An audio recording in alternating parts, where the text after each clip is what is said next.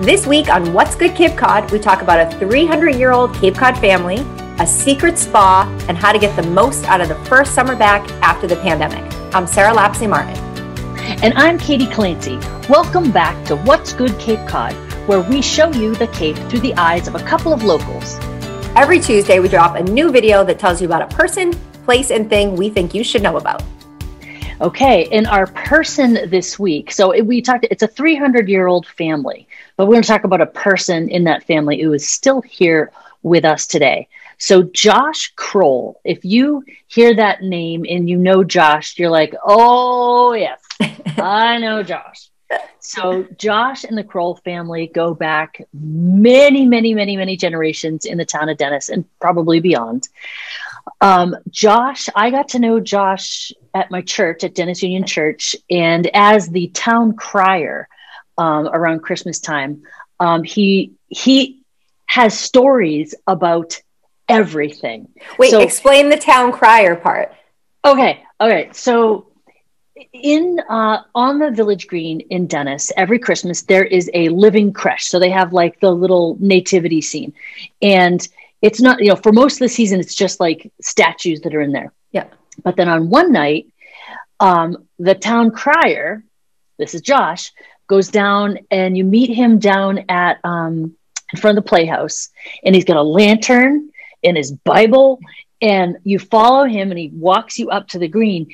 And over there and you get to the green and at the creche there's a mom a mary a joseph. There's a little a real baby. Yeah. there's little angels little kids yeah. dressed up as angels. There's depending on the year maybe goats a donkey cows whatever all sorts of things and real animals and then there's a, a little choir up in the mm. um, gazebo Yep and Josh gets you there and he reads that part from the Bible about the night and the star and the behold, if you remember what's the Charlie Brown special, there came upon them. so he reads this this whole part from the Bible and we're all about like, oh, you know, it's all this very cool, very Christmassy thing. And as yeah. soon as he finishes, the the choir starts singing Christmas carols like, oh, holy night. And you're like, this is so it's, yeah it's such a special thing and gets you in the spirit and totally and josh is like so into it i he's love it i love that he does he's that got yeah. the cape oh that's why i was gosh. like you can't just cross over that you gotta explain. oh no it's actually yeah he's yeah. so funny he's been the chaplain for the fire department and he knows everyone or at least their grandfather he was, I was talking to him one time and he was like, I know where you live. You live over there on the old Crowell woodlot. I'm like, uh, no, I, am on Setauket. And yeah. he's like, well, that's where we used to get our our firewood. like, of course you did. Of course you did. So in my next door, in the next door app, I have like I'm sort of like the captain of our neighborhood, and I had to yeah. name it. So I named it the Old Crowell Woodlot because I'm not going to second guess Josh, right? He told you. If, he told me so that's how it is. So i highly recommend you google him. You will not find him on social media but you will probably find him at the dennis historical society. You'll certainly find his family um, if you can learn anything about him or even better get to meet him. He is just i could listen to him for days and i think i think you could too. So i highly recommend go find josh crowell. Awesome. So, so what's our place sarah? So our place this week is kitsy hoover skincare. So you know, some days you just need a little bit of pampering, and Kitsy is my go-to girl.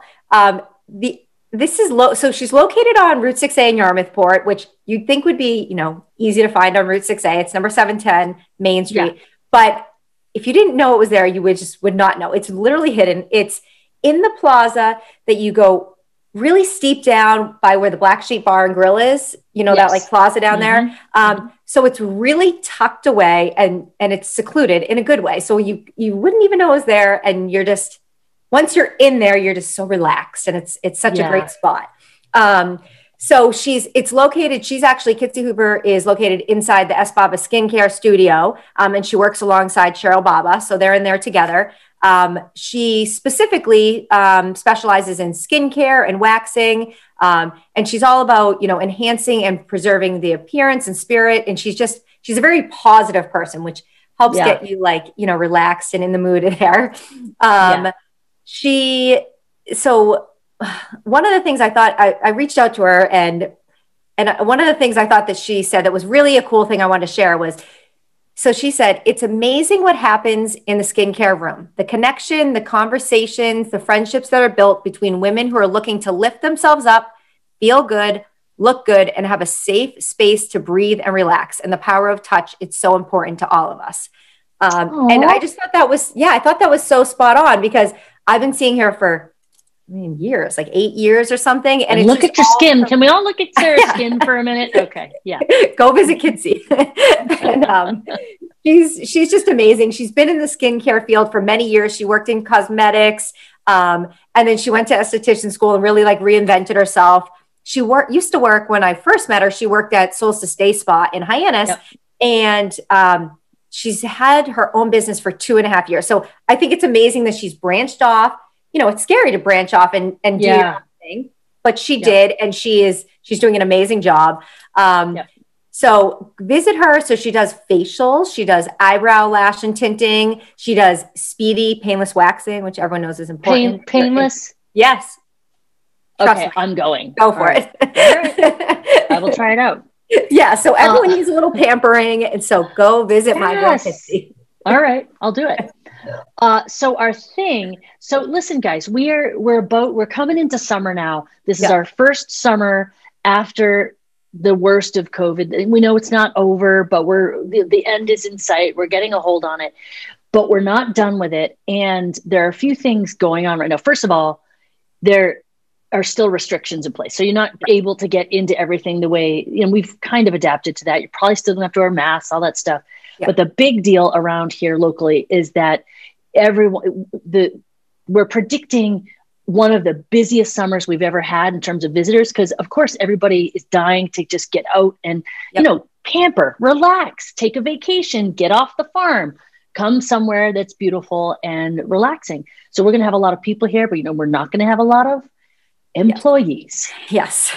We are under everybody's understaffed um, unemployment is when you drive down the road. I feel like everyone has a just hiring sign on social media. Yes. Everyone's posting. I mean, if you mm-hmm. need a job, it's there are so many. Well, jobs. that's the silver lining is that you know anybody who's like coming down and hoping to find a job, you have your pick. You can okay. work wherever you want, and if you don't mind, please work at two places because yes. they all need you. Yeah. Um. So, but that is a recipe for disaster because we've got all these visitors who are really anxious to chill out yep. and not enough people to help them. So Sarah and I put together sort of a little cheat sheet, sort of hot tips on how to get the most out of the summer. But the very first thing at the top of the list, you guys, is we want you to bring the attitude with you that you want to leave with.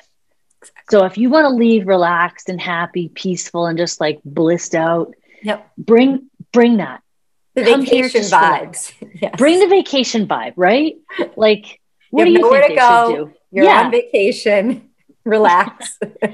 Just relax. You, are dealing with people who are so talk about stressed out. They've been through the pandemic too, and they don't have enough help. Um, so things so things are going to take a long time, and I think you're probably going to see it mostly in restaurants and Agreed. food service, ice cream stores. It's going to take longer. And you know what? There might be people, you know, lots of people doing it for the first time. They might have much younger workers than they've had before because they have to hire. A lot of places really don't like to hire until kids are 16, but they're going to have to take 14 year olds now, and it's going to mean more mistakes. Less experience. And, yeah. Yeah. Slower service.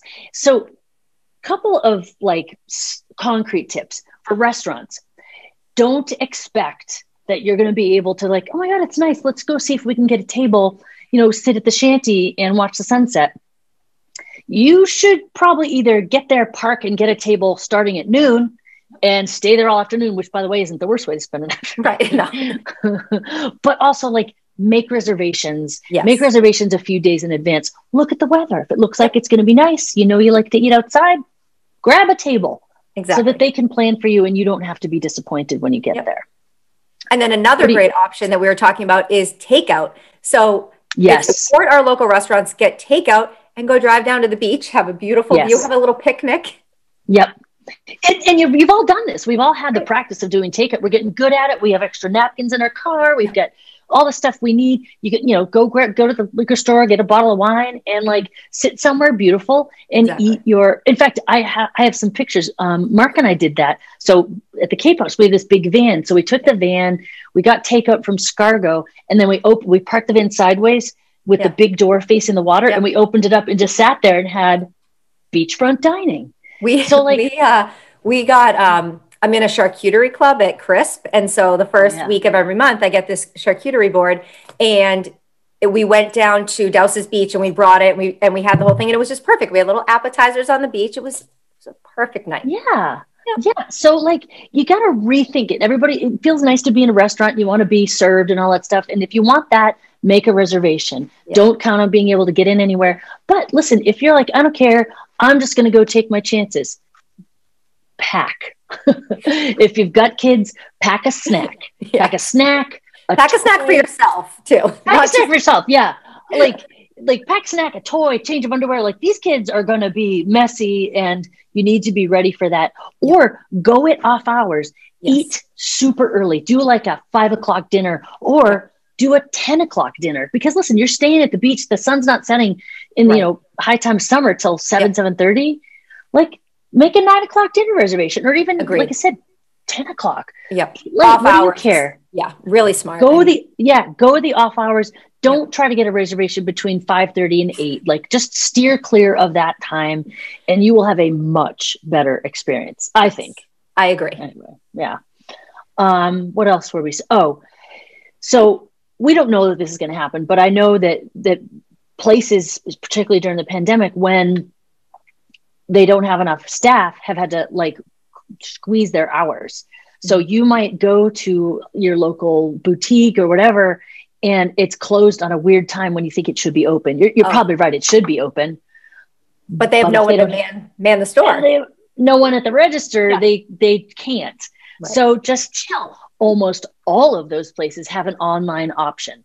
So go just Google them right away. You yep. can probably shop online and you can also find out when their hours are. And this is, I mean, again, one of the like silver linings from the pandemic is a lot of these people have set up like online shopping or like shopping hours or like Plum Porch does a whole like Facebook hour where they it's not an hour, but they do a live a where live, they take right. you to the store and you can shop there. So like some of those right so you can still shop online but support our local cape cod businesses which we yeah. couldn't really do that for a lot of these places before. Yeah really yes. push them to do it. And, uh, and if you and if you do get if you do get there and the store is open and it's crowded or you have to wait in a line just like chill. Take like, a deep breath. take a deep breath. Everybody's gonna be okay. It's a gift store. You're gonna be fine. Yep. You're just buying presents. You got nowhere to be. Like sarah said you're on vacation be kind to the people on the other side who are, who are giving you things, taking care of you, taking your money, caring for whatever you got going on. Because listen, they just came out of a pandemic too, and um, they're probably working twice as hard as they normally would be, and they're not collecting unemployment. Okay, so these guys are the ones who are out there working and doing the work that needs to be done. So show them some love, show them some respect. And what else, Sarah? What should we do?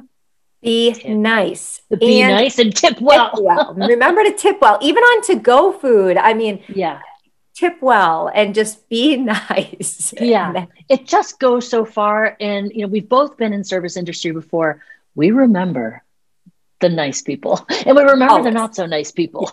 Yes. and if you ever and, want to go back, right? And if you're looking for jobs, get oh, down God, here yeah. and look. I was um I was telling you earlier. So one of my friends, Erica, she's a manager over at Columbo's on Main Street, and she's been yep. interviewed on the news um, about you know the the lack of staffing. And she was saying that places down here for dishwashers for restaurants are offering like seventeen dollars an hour, which is something that we've never seen in the hospitality of like that kind of money. Um, but people need you, so come yeah. help, come to work. Yeah come get a job. Cape Cod, yeah. Get a job. Come work yeah. here. Like, like if you're here, if your you know family is coming down or whatever, yeah. do it. We need Agreed. you. It'll yeah. be worth it. All right. So I think that's it for this episode, right, Sarah? I think so. All right. Well, now you know what's good Cape Cod. If you're watching on YouTube, hit the subscribe button and the bell to be notified when we drop a new show. And if you're looking for more information about anything we talked about in this video, go to what'sgoodcc.com where we have links to everything we talked about this week. Have a great week, and we'll see you out there. Bye, guys.